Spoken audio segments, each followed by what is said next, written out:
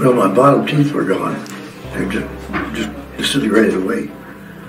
We had them taken out and put implants in and put the bottom teeth in.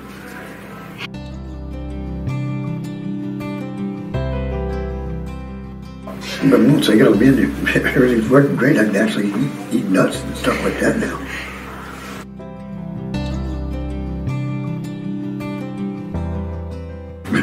I tell them it's fantastic here. They treat you well, and everything just goes perfect.